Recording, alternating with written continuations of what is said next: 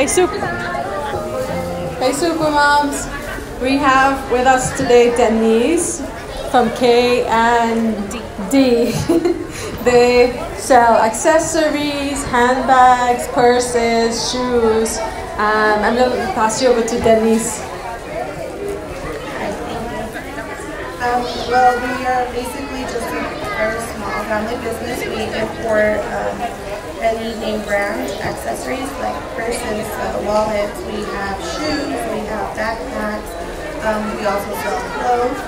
Uh, we just brought a little bit of the merchandise that we have right now, and um, you know we I have it at a very great price.